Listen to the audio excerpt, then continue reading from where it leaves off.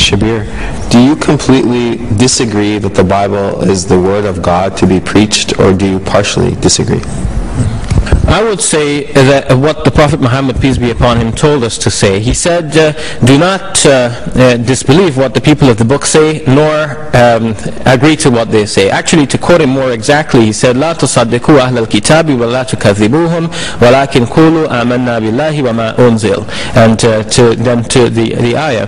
Uh, do not uh, confirm what the people of the book say, nor disagree with what they say, but say we believe in Allah and what He has revealed, whether that revelation came to the Prophet Muhammad, peace be upon him, or to previous prophets. But that does not mean that our knowledge cannot go beyond that. In fact, um, a lot of things can be subjected to scholarly investigation and study. As a student of comparative religion, uh, I would say that uh, the New Testament in, in particular and the Bible in general uh, contains some messages from the previous prophets, including Jesus. Uh, but uh, these messages are mixed up with the commentaries and writings of other persons and redactors and, uh, and editors that came later on in such a manner that today we cannot uh, simply just take anything at face value that Moses wrote this or Jesus said this.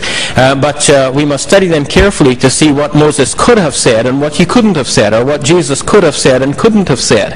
Of course, that gives rise to a number of uncertainties that cannot uh, fully be, be solved. But the problem there is that the words of the prophets are so bound up with the words of later writers that they cannot simply be extricated uh, with any degree of uh, accuracy or certainty. To find the words and teachings of the previous prophets and last of all of Jesus and then of the Prophet Muhammad, peace be upon him, we need to turn to the Quran, which is God's final protected revelation, which uh, will never be changed.